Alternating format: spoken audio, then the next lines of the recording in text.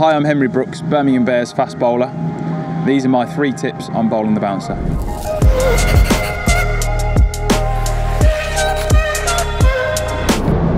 A bouncer is a delivery you bowl into the wicket and try and get as high up as possible on the batsman.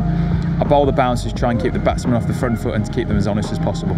The risk of a bouncer is if you don't get it right and you don't bowl the line correctly, the batsman will have an easy hit and they'll be able to hit it for a boundary.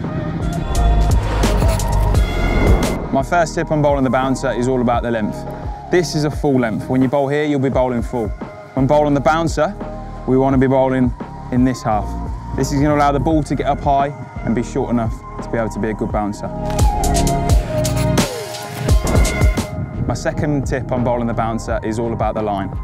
If a batsman standing at the crease, you want the line of the bouncer to be at them.